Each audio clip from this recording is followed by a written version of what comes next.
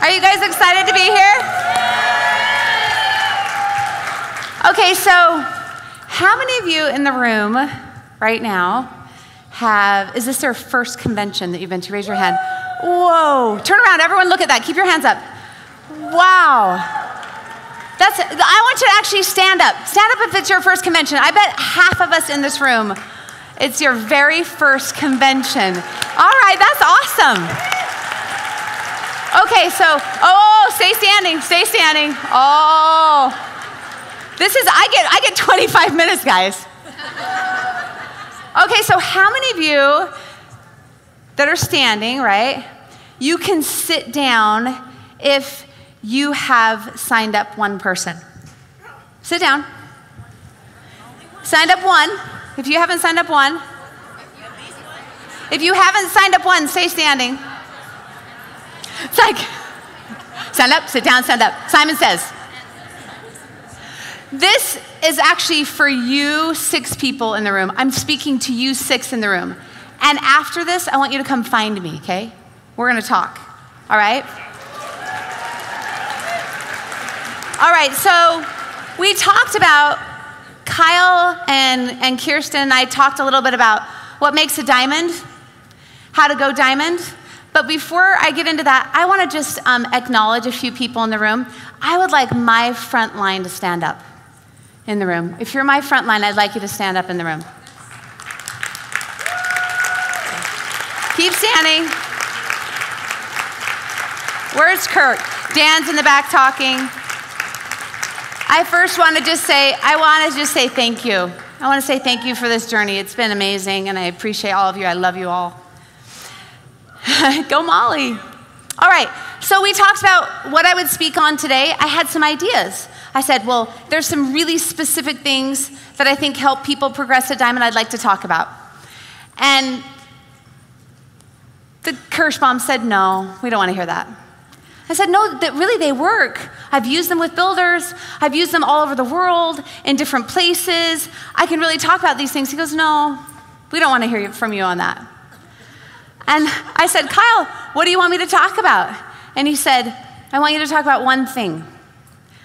And when he told me, I said to him on the phone, I'm like, Kyle, everybody has heard that. Nobody wants to hear that. And he said, This is what we want you to talk about today. So today I'm going to talk to you about something that you hate. it's called contacting. Today we're going to talk about contacting and specifically what makes great contactors. What makes someone incredible in doTERRA? What makes someone attract people to them? What makes someone never run out of builders to talk to? Okay? So, how many of you have ever read the book How to Win Friends and Influence People? Raise your hand. Almost as many as going to convention this year for the first time, right? It's an incredible book.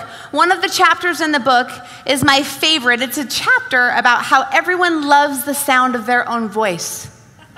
They love to hear themselves talk. When I was a young girl, my dad was a public speaker. I went all the time and listened to him speak in public, and he made me memorize a poem. And at the perfect time of his talk, he would say, Allyse, come up. I was really little. And I would repeat this memorized poem, and I still know it today. It goes like this Sometimes I wake up in the morn, a wishing I was never born. And then I make a cross remark or two, a few, and then my family wishes too that I had never shown them my face. But let me change my little tune and sing and smile, then pretty soon the folks around me sing and smile. I guess 'twas catching all the while. It is a funny thing but true that folks you like will sure like you. I'm to say that last sentence one more time. It is a funny thing but true that folks you like will sure like you. That is the secret to contacting. So let me, let me go into it in detail. We're going to talk about how to contact, how not to contact, specific ways that you can really attract people to you. The first is we're going to talk about how not to contact right? So sometimes I think contacting is kind of like my the worst dreaded workout that I have. It's called the Stairmaster. I hate this machine. Who would ever want to just walk upstairs for eternity? I hate it. In fact, I had a, I had a coach, and he would, whenever he would tell me I needed to do it, and he would go out of town, I would always come up with excuses of how I needed to do something, or I was sore, or I thought that something else would be better for me. So only when he was standing right next to me and watched me do the Stairmaster would I do it for him. Sometimes that's how we treat contacting. We actually hate it.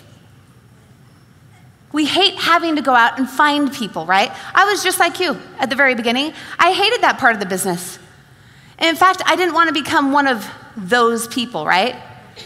That when you call, they like don't want to take your call. They turn the other way when you're walking down the street. Hopefully, Allyse doesn't see me because she's going to talk to me about doTERRA, right? I didn't want to be one of those type of people. So I dreaded contacting, but I knew it was a necessary evil. So I did it. Well, some of us are the exact same way. Unless your upline is pressuring you, or unless you're doing Premier Push and Allyse is telling you every single day, get two contacts, get two contacts, get two contacts, and your team is like, you didn't get your points, what are you doing? Right? You don't contact. Well, I'm going to tell you about a progression that happened to me from hating to contact to actually, actually loving contacting. Can you imagine that? In fact, if I didn't have to do anything in the business, if my schedule were completely free, I would spend my time always contacting. I love it. I will never stop doing it. So, I want to tell you really quickly what not to do.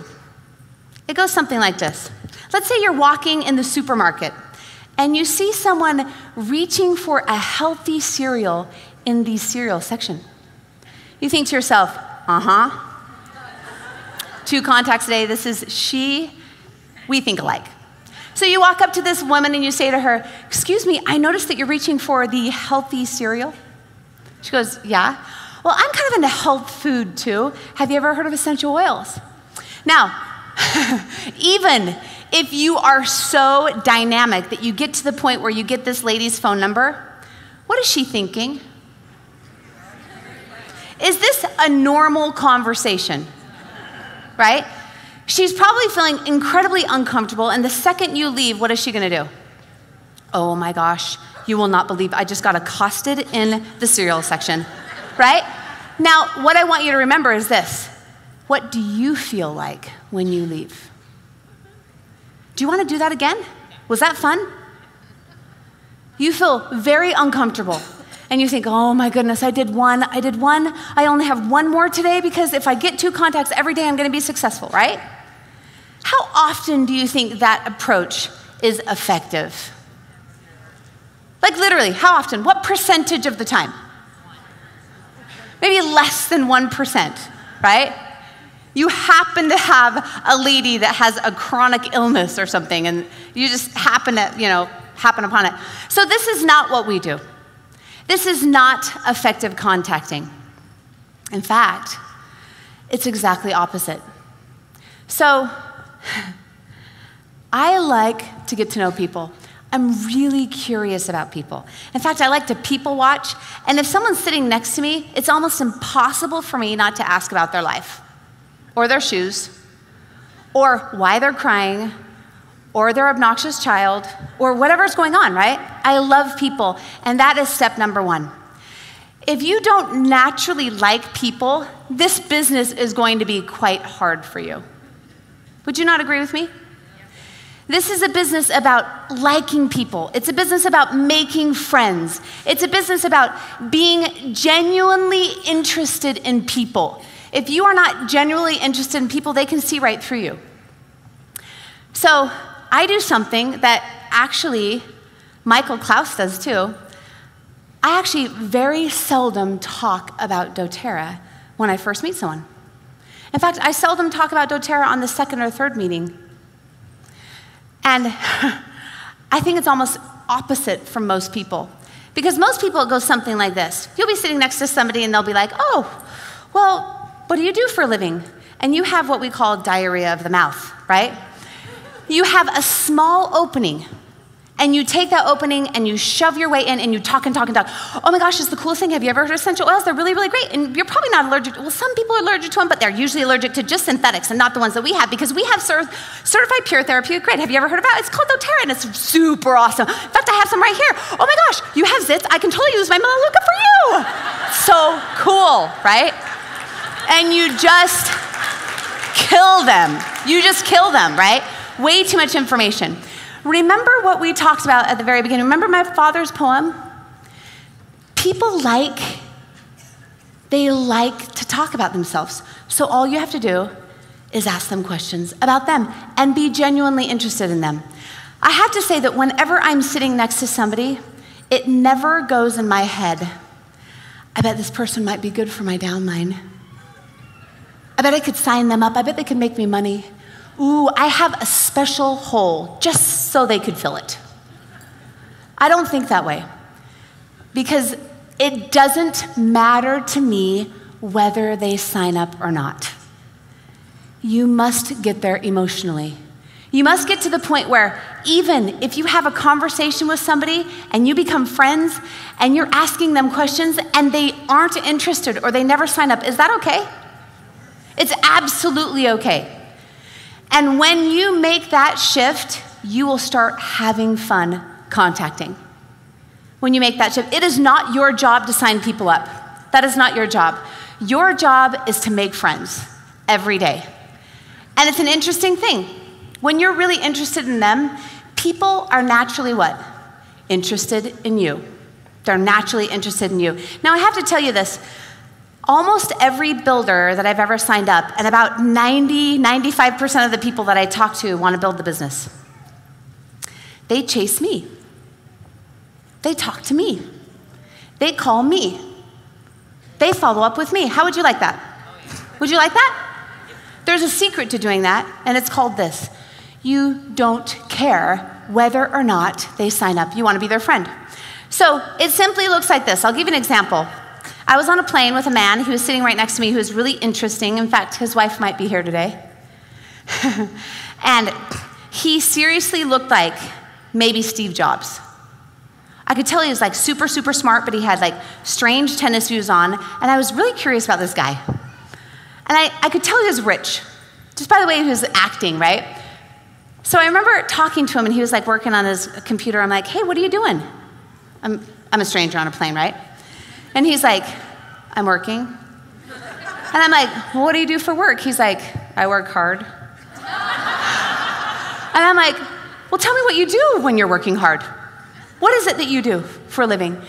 So at the beginning, you kind of break people down, and after a while, something sl- snaps in them, and they go, She really actually is interested in me. And so they start talking about themselves. And at that point, you can't get them to stop, right? So he told me that, have you guys ever seen Shark Tank before? How many of you have seen that? Yeah? That's what he does for a living. He owns a company that's like Shark Tank. I thought this was really rad and pretty interesting. So I started talking to him and I said to him, So, what's the best deal you've ever done? Oh my goodness, his eyes lit up. He was like, and he was telling me about this incredible deal where he put it together and everything came together and they made a lot of money and it was, it was phenomenal. And I asked him, What's the worst deal you've ever done. And so he talked to me about this. Now, we had three and a half hours on the plane ride together, right? It was a long plane ride. And something happens about 15 minutes after you start talking to somebody. It's a social phenomenon that happens all the time.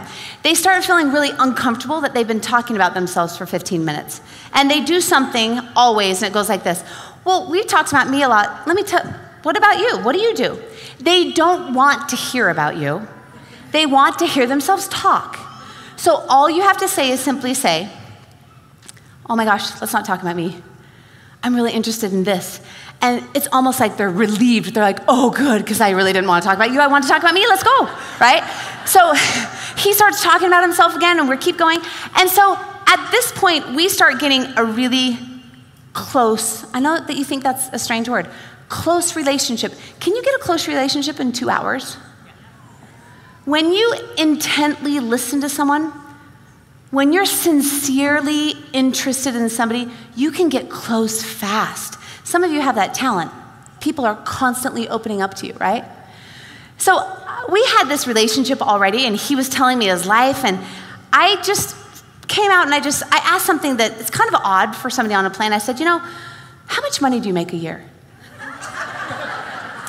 he looked at me, and this is what he said. He goes, you know, I've never told my wife this. I was like, oh my goodness. He's like, I make $600,000 a year. Now, that day I was in a little bit of a playful mood, okay? And I shouldn't have done this, but I was like, oh, that's pretty good. he goes, excuse me? And I said, well, you know, you're getting there. I mean, it's not great, but it's pretty good. You're getting there. Like, it's okay. Don't give up. It bugged him for about 10 minutes. He like sat there and I could just tell him just like he was just dying inside. Finally, after about 10 minutes, he leans over to me and goes, How much money do you make? I said, Oh, about four times as much, but you're doing good. Keep going. He looked at me and he said, What do you do for a living? Now, hold on. If you had that question asked to you, most people would take that open door and do what? Oh, like, actually, let me tell you what I do. I sell essential oils, and we have all kinds lavender, melaleuca, frankincense, and obviously you can afford them, so we're gonna talk about the diamond kit. So, anyway, right? You would go for it. You would just take that open door and you would run. This is not what I did. I said, I don't really want to talk about me. You're super interesting. Let's talk about this and he started talking about himself. He asked me three times during that conversation in three and a half hours, Tell me what you do. I'm like, Who cares what I do? You tell me what you do. This is awesome. And honestly, guys, I have to tell you, I was really interested. I wasn't faking it. I was really interested in what he was doing. He was in the middle of a lot of his stories. It was awesome. Finally, at the end of the conversation, he goes, Listen, I have been talking for hours. I feel like we've known each other since birth. Tell me what you do for a living. And I repeated my script. Did you hear that word? That's your next clue. I have a script. I have a script that I have memorized and I know so well that you could wake me up at 3:30 in the morning and go, "Allyse, Allyse, what do you do for a living?" And I would say, "Oh my gosh, I do the most amazing thing. I sell natural medicine. It's safe, it's cheap, it's effective." And I would go off at 3:30 in the morning. I know how to say it in the pool, skiing, with strangers, with my family. I know my script. Why do I have a script? Why would it be important to have a script when you're contacting? Because when you have a script and you know what you're going to say, you never have to worry about what you're going to say. All you have to worry about is the person in front of you and personalizing your message to that person. So I said my script and I said, you know, I do the most amazing thing. I sell natural medicine. Oh, did you hear that word? What did I say? I said the word sell, didn't I? Well, that's a scary word for most of us here. In fact, that's a word that most of us never use. It goes something like this Well, I never thought I'd ever sell essential oils. In fact, I just started getting into them and they worked for me. And my sister happened to have an ailment. So I used it on my sister, but for, I totally didn't want to make money from her. But I, I, after a while, I just I couldn't help sharing it with other people. I started doing this business. And here you are, I'm at convention. Is that the type of person you want to hook your business train to? I'm being serious. Someone who's embarrassed about what they do? They can't even say the word. Do we sell natural medicine? Yes. Do we? Is that what we do? Oh, we can say share. Oh, we can say all these things. But what we do for a living, if we don't sell natural medicine, we will not get a paycheck. Right? No check comes in the mail. What we do for a living is we sell natural medicine. We sell essential oils, and it is phenomenal. It's incredible. And so, what I do is I tell them from the very beginning what I do and how I love it. I sell natural medicine, it's the most amazing thing. It's safer, it's cheaper, it's effective. And then I give them I give them action and experience from my family. I tell them this little story. Usually I tell about my girls that had ear infections. And I say, it's totally changed my life. I love it. I'd love to give you some. That's my script. I've used it thousands and thousands of times. I've used it all over the world, right? Now, I want to ask you a question. What if you only have 30 seconds with this person? Or two minutes? I hear this all the time. People go, Well, I only had a few minutes with them. Is it, do you have to talk about doTERRA every person that you meet? Is it natural to talk about doTERRA everything that comes out of your mouth? Hi, could I ring you up for that cereal box? Oh, cereal? That reminds me. No, right? Basically, what we do for a living is we go around making friends. And friends want us to call them back. Friends want to talk to us again. Friends like being around us. People don't do this business because they like the oils. They buy the oils because they like the oils. They do the business because they trust you, they like you, and they think you're going to take them to a place that they can't get on their own. I'm going to say that one more time. People do this business because they trust you, they like you, and they think you're going to take them to a place that they can't get on their own. That's why they join the business with you. So when you're embarrassed about what you do, it doesn't help you. And when you feel like if you have three minutes with somebody and you have to get your entire oil, like oil in a box script out, that doesn't help you either. So this man on the plane, after I told him what I did, I, I, he said to me, Do you know what? You have to meet my wife. I'm like, okay. He's like, she's actually sitting in front class. I'm like, ooh, you just scored points, like big time. He just gave up his first class ticket, right, for her. And he's like, I know this sounds weird, but I know that you have a layover and I don't know how long it is because we've been talking for a long time.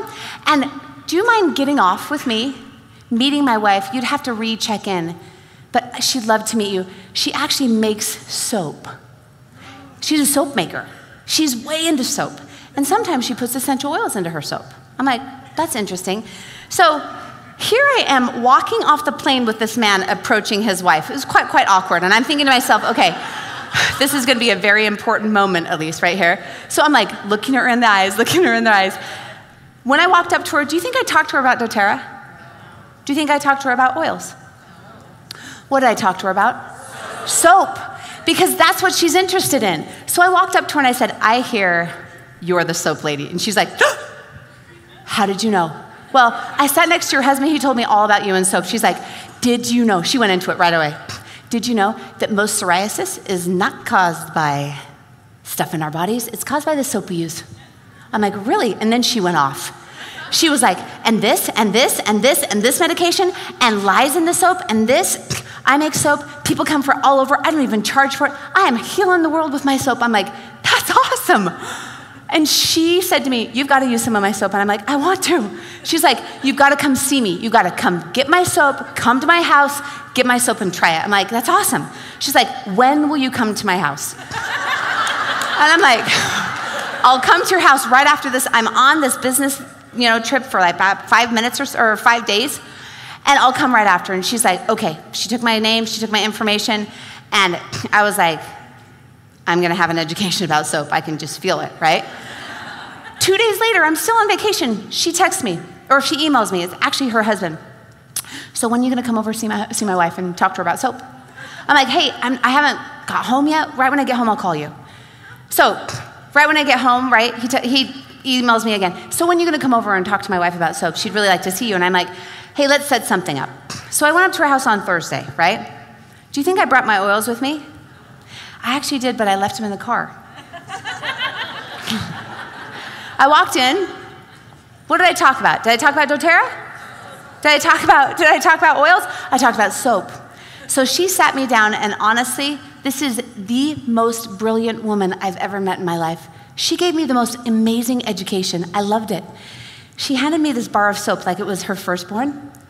And she's like, "You have to let it sit for 30 days." I'm like, are you serious? She goes, Yeah, soap has to cure for 30 days. I'm like, I have to watch it for 30 days before I use it? She's like, It'll be worth it. So I'm like, Okay. Of course, she's texting me in the meantime, wondering how my curing is going with my soap and all that. So I use her soap. Guys, it's like rubbing your butter or body down with butter. It was awesome. It was the best experience I've ever had. I was like, oh, I wanted to sing in that. It was amazing. It really was. And so I called her back, obviously, and I said, This is incredible. She goes, Come up to my house. I want to talk to you again. So we went up there, and she goes, Now I use some essential oils, and we started talking about essential oils. Well, that night it was the right timing. And she asked me, She said, Tell me about your essential oils, because sometimes I use essential oils. And I said, What do you think I said? My script. I said, I do the most amazing thing. I sell natural medicine. It's safer, it's cheaper, it's more effective. I told her a little story about my family, told her how amazing it was for me. And she looked at me and she goes, I want to have a party. I want to invite all my friends, my soap friends, to come hear this. I'm like, okay, I think I can do that. I went that night, right? We did 3,000 OV that night, her first party. She was excited, right? Soap pays. this experience has happened to me hundreds and hundreds and hundreds of times. I remember I'm standing in Bermuda in the water, and I'm like snorkeling. My husband's over here, and all of a sudden, like literally, I see man's feet right underneath me, and I stand up. I'm like, oh, I am so sorry. I almost ran into you. So we're standing there. He's Bermudian. That's kind of cool, right? So I start asking about where he's from, how long he's been there, what he does for a living. I'm really getting into this guy. It's cool. He lives, he's lived on Bermuda his whole life. So we start talking. We're standing in the water. My husband's bored. He's like snorkeling around, right? And he tells me about that he's just barely gone through a divorce and how devastating it had been for him. And as we're standing there, we're talking, and he's almost weeping, and he's like, you have to come see my furniture store. I'm the only furniture store in Bermuda that sells this. And I'm like, I'll come see it. I promise I'll come see it. I'm to go and check it out, right? Well, actually, that time, it was the right timing. It was, he was ready. And after about two or three times that he'd asked me what I did and I turned it back around to him, he's like, No, really, why are you here? And I said, What do you think I said? I said, I do the most amazing thing. I sell natural medicine. It's incredible. It's safe, it's cheap, it's effective. And, I told him a story. And then I want to share with you one sentence that I use at the very end of my script. I can't tell you how many times I've said this. I've said this all over the world, thousands of times, and it works for me almost every time. And it goes like this You know, I'm looking for somebody in your area. I'm always looking for somebody in any area, right?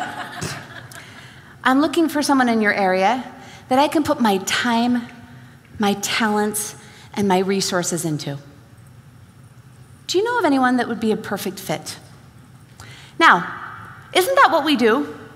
We put our time, our talents, and our resources. Isn't that what you do when you sign someone up, right? When you help them build, when you help them get started, we put our time, our talents, and our, and our resources into them. And 90% of the time. Why do you think I don't say, Are you interested? I'm looking for someone in your area to put my time, my talents, and my resources into. You. Are you interested? That's kind of awkward. That's a little awkward and it's a little abrasive, right? So if you say, Do you know anyone that's a perfect fit? What do you think usually happens? They go, um, me. In fact, in Bermuda, that man stood there in the water as we, stand, as we stood there when I said that sentence, and he literally just went like this.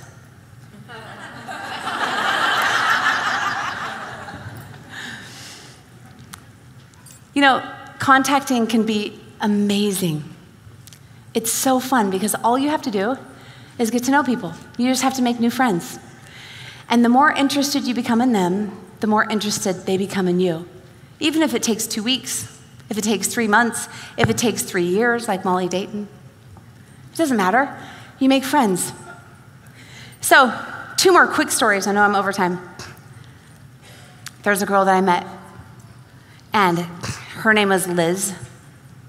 And I just wanted to tell you about, she's, she was a cute girl. I just wanted to tell you about just circumstances of us meeting. We're sitting on a plane again. I fly a lot, so I meet people on planes a lot and she's the cutest little girl. She's from Utah, and she's 28 years old and not single and not married. What does that mean? She's got pressure, right? She's living under pressure in Utah, being 28 and, and single. And so we started talking about her dating life. And she said, Well, I teach elementary school and I only meet parents. I'm like, well, do you have a church that you go to or social activities that you go to that you meet boys? And they're like, well, I have a church that I go to, but I don't usually go to those activities. And I said, why, Liz? And she said, well, because I don't know, I feel really uncomfortable. So we've only known each other for about 30 minutes, and Liz is darling, and I really, really like her. And I look at Liz and I said, Liz, get a piece of paper and a pencil out. And she's like, like, that's kind of strange for a stranger to ask you, right? I'm like, Liz, I want you to write your name and your number down. Um, and I want you to give me that piece of paper. And she's like, why? You know? And I'm like, Liz, because this week you're going to go to three events with boys, and you're going to talk to eight boys, and you're going to text me by Friday and tell me you've done it. Why do you think Liz gave me that piece of paper? Because she knew what? I was interested in her, right? Thursday came and I got a text early. It said, Done. Eight boys. I invited Liz over to my house and we played the dating game online. This is super. I, I was not dating when there were dating stuff like that. but I looked online at, you know, kind of her possibilities. She was on this one dating scene, and I went to the person. So she looks a little bit kind of like Pollyanna. And she acts kind of like Pollyanna. She's darling. So I found the least likely recipient of Liz. He had tattoos all over. He was smoking. He was sitting on his car, kind of like, yeah. Right? And I actually texted him from Liz's account. And I said, we were having fun, right? And I said, I like your style. I swear this man was on the computer at that moment because within 30 seconds he texted back or he messaged back and said, I like your style too. And she goes, oh, What have you done? And I'm like, Liz, you never know. Like, this could be opposites attract, like love at first sight. This is awesome. She's like, Allyse, he's nothing like me. I'm like, Liz, give it a chance. The next morning, she was panicked because he had messaged her like five or six times, right? Liz and I became friends. And over time, she kept asking about doTERRA, and I told her about it. Do you think she signed up? Yes, she signed up. This is what happens with people. When you're interested in them, they're interested in you. So I want to leave you with just one last thought, okay? Contacting can be the funnest thing that you do in the business. It should be the funnest thing that you do in the business. I will never stop contacting. I will never stop talking with people and thus I will never stop rank advancing. Because it's a natural occurrence. The more you talk to people, the more you're interested in people, the more people are interested in you or what you're interested in, and you constantly have a pipeline coming to you, right? And it's fun. It's so fun. So when you wake up in the morning, instead of thinking, I have to get two contacts today, what I want you to think is, I, I get to make two friends today. I get to talk to two people that I have never known before that are really interesting to me, and I get to do them a favor.